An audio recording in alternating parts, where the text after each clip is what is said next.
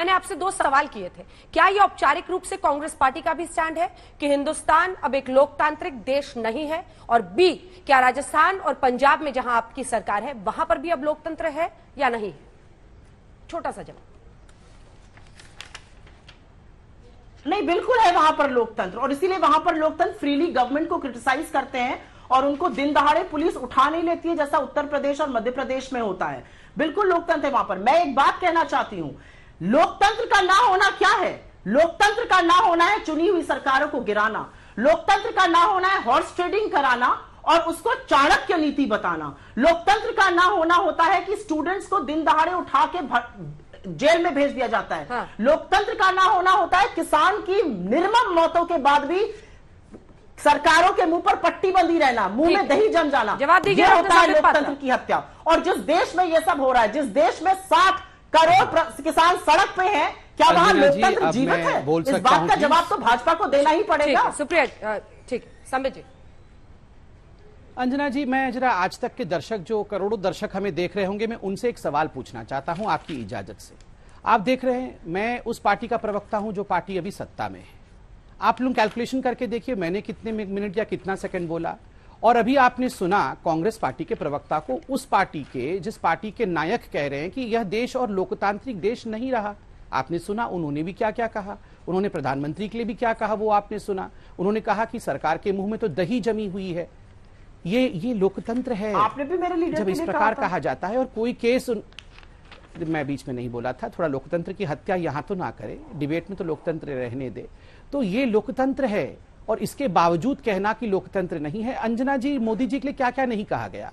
चोर है मोदी जी, तुम्हें डंडे मारेंगे। और मोदी जी ने कहा, ठीक है भैया, डंडे मारो, मैं तो सूर्य नमस्कार करके अपने पीठ को और मज़बूत कर लूँगा। कॉकरोच है मोदी जी, वायरस है मोदी जी, भस्मासुर है मोदी जी, ये सब कुछ कहने के बाद इनको लगता है बोटी बोटी काटेंगे। इनके एक लीडर है जो कह रहे थे, जिनके प्रियंका जी के खास है, वो कह रहे थे कि हम बोटी बोटी काटेंगे मोदी जी को। उसके बाद भी इनको लगता है कि इस देश में लोकतंत्र समाप्त हो गया। ये क्या चाहते हैं? लोकतंत्र बहाल कर दिया जाए तो ये हमारी गर्दन काटेंगे? मोदी जी को मार ही डालेंगे? यही चाहते हैं? नंबर दो, इन्होंने कहा आत्ममंथन करना चाहिए। चरण वंदन से कुछ नहीं होगा। बिल्कुल ठीक। जरा पीसी चाको जी को बुलाइए आज डिबेट में। वो बताएँगे चरण वंदन क्या होता है वो बताएँगे आत्ममंथन किसे करना चाहिए वो बताएँगे डेमोक्रेसी कहाँ समाप्त हुआ है। जरा आनंद शर्मा जी को बुलाइए ना मनीष तिवारी जी को बुलाइए ना जी ट्वेंटी थ्री के सदस्यों को बुलाइए गुलाम नबी आज़ाद जी को बुलाइए ना वो बताएँगे गुलामी क्या होता है वो बताएँगे आत्ममंथन आज किसकी आवश्यकता है कौन से पार्टी में आज ऑटोक्रेसी है और इलेक्ट्रल इलेक्शन ही नहीं होता है। जी कांग्रेस हाँ, हाँ। पार्टी के आंतरिक लोकतंत्र पर अलग से चर्चा कर लेंगे। एक सवाल मुझे पूछने दीजिए डॉक्टर समित पात्रा से। उनका ये कहना है सुप्रिया जी का कि जो लोकतांत्रिक मूल्यों की मौत का ज़िक्र हो रहा है यहाँ पर वहाँ पर पहुँचने की ज़रूरत है। क्या जो हाँ में हा मिलाए वो सब देशभक्त चाहे वो कुछ भी कर रहा हो पीछे से? और जो एक भी आवाज़ उठाकर सवाल पूछ दे, ये सब देखो देशद्रोही है, दूसरे देश के पैसे लेते हैं, इसलिए देश के अंदर अनरेस्ट कॉज कर रहे हैं।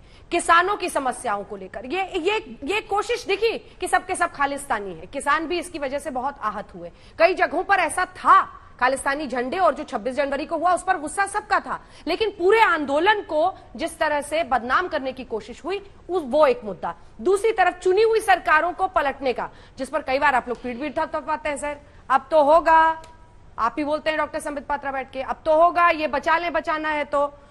सवाल उन लोकतांत्रिक मूल्यों की मौत का है। अंजना जी अब मैं आपकी अनुमति हो तो एक सवाल मैं आपसे पूछ लूँ क्योंकि चूँकि एक लोकतांत्रिक देश है हम एक दूसरे से सवाल पूछ सकते हैं। मैं आपके सवालों का जवाब दूँगा। आपकी अनुमति हो तो पूछूँगा वरना नहीं पूछूँगा। पूछे।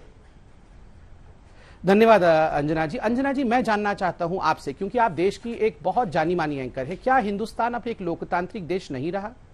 आप इसका जवाब दीजिए मैं जवाब आपके सारे प्रश्नों का दूँगा। सौ फ़ीसदी लोकतांत्रिक देश है लेकिन कई बार मूल्य डगमगाते हैं और उन मूल्यों पर बहस होनी चाहिए। मैं मैं इसका जवाब मैं मैं मैं, मैं जवाब देता हूँ। अंजना जी अब मैं आप मुझसे सवाल पूछिए, यहाँ पर कांग्रेस की प्रवक्ता, यहाँ किसी भी पार्टी की प्रवक्ता मुझसे सवाल पूछे, मैं जवाब दूँगा।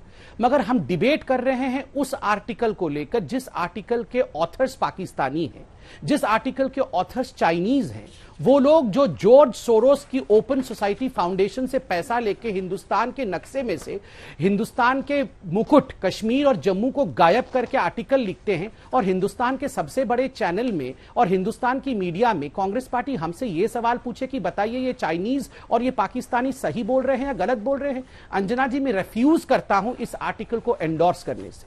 मैं रेफ्यूज करता हूँ, मैं इनकार करता हूँ कि जो ये चाइनीज़ और पाकिस्तानी कहेंगे, मैं इसको कदाचित एंडोर्स नहीं करूँगा। मरते मर जाएँगे हम बीजेपी के कार्यकर्ता। आप हमें देशभक्त कहिए या ना कहिए, जम्मू कश्मीर हमारा था, है और रहेगा। और मोदी जी ने जो काम किया है आर्टिकल 370 को हटाकर, जिसके खिलाफ वीडेम ने भी और फ्रीडम हाउस ने लिखा है, मैं सल्यूट करूँगा मोदी जी को कि आर्टिकल 370 को हटाने की छूने की इनमें से किसी की हिम्मत नहीं थी। हाँ एक छप्पन इंच का लीडर था है और रहेगा जिसने आर्टिकल 370 को हटाया। राम मंदिर बनना अगर ऑटोक्रेटिक है तो मैं आज महाशिवरात्रि के दिन नमन करता हूँ महादेव को और कहता हूँ धन्य है यह देश कि आज 500 वर्षों के बाद राम मंदिर हम्म। बना और हाँ भव्य राम मंदिर बनेगा।